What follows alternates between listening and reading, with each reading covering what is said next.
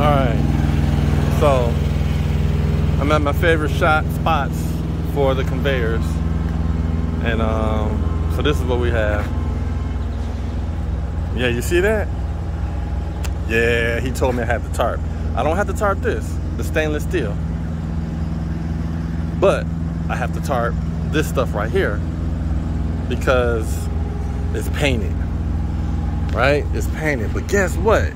It's been sitting outside. And you see all the rust? You know? This is like one of them things where I feel like I'm just gonna go ahead and just take it anyway and say the hell with it. But then it has some sharp edges. But I'm gonna go ahead and tarp it. It's the weekend.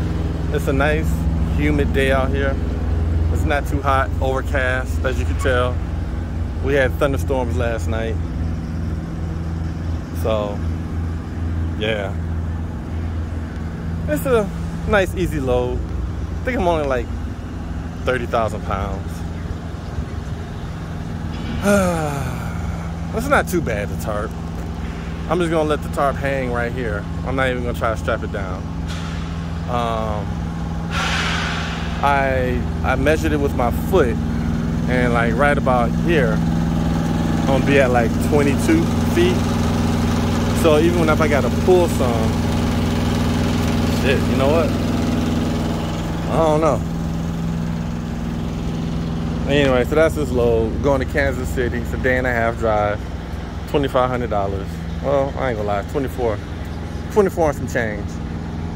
And uh, it's like, what, 700 miles to Kansas City? Because I know if I do, I could do, what, 400 and I'll be at Effingham?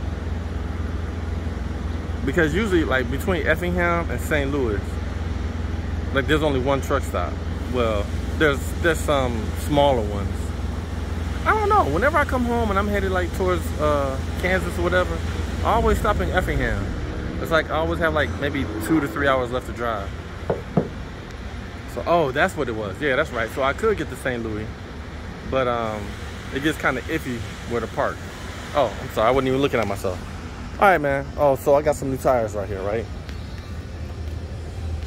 And these tires are Cooper tires. I don't know if you can tell, but they're Cooper. And um, they're all right. They're good. They're cool for whatever reason. I wanted to give me some more Bridgestone right here. They were pretty cool too, but I couldn't get to my spot. But um, as of right now, my tires are good. I have, I have, um, I got some decent tread on my um, drives, right? So I'm not driving as much, so my tires aren't wearing as fast. And then um, this one right here, I'm gonna have them rotated because I have a front end alignment problem. Yeah, but that's about it, y'all. So I holla, peace. All right, so I got my tarp laid out. As you tell, I have the blankets for the corners. It's already torn, it's already ripped, but I have blankets set at every corner position. Those black ones are very small. Where's it at? That one. So what I'm thinking, and I got another one black right there. I'm thinking I'm gonna put this blue one up there and then get these two black ones and put on these back back corners. And um, then I have my smoke tarp right there. I don't know what I'm gonna do with that. But yep, that's it.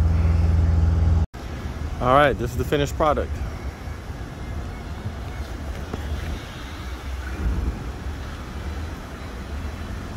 I don't care about the back. I'm not too worried about it.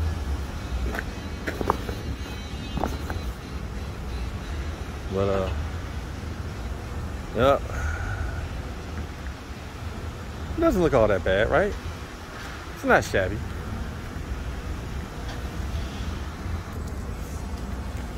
It's not shabby, right?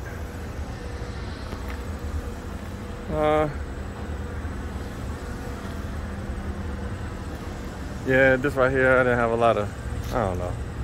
It's humid in the mud, man. It's humid in the mud. So yeah, I'm gonna head on down. So, yep. Peace out.